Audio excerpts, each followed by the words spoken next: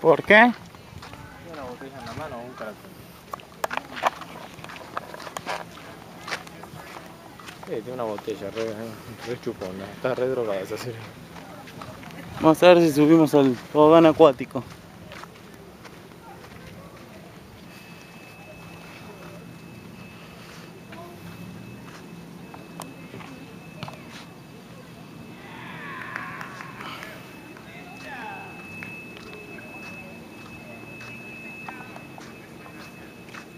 No sé si esto es para vosotros.